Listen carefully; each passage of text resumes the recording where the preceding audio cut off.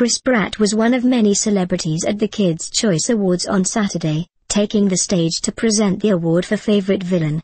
The winner, of course, was Angelina Jolie as Maleficent. She was in attendance with Shiloh and Zahara as her dates.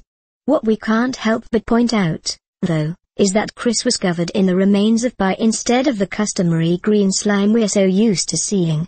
Either way, we're just happy to see him at the event, and wearing a tight shirt to boot.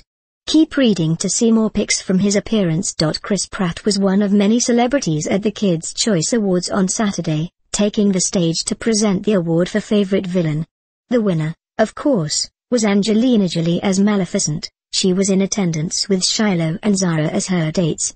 What we can't help but point out, though, is that Chris was covered in the remains of pie instead of the customary green slime we're so used to seeing. Either way, we're just happy to see him at the event, and wearing a tight shirt to boot. Keep reading to see more pics from his appearance.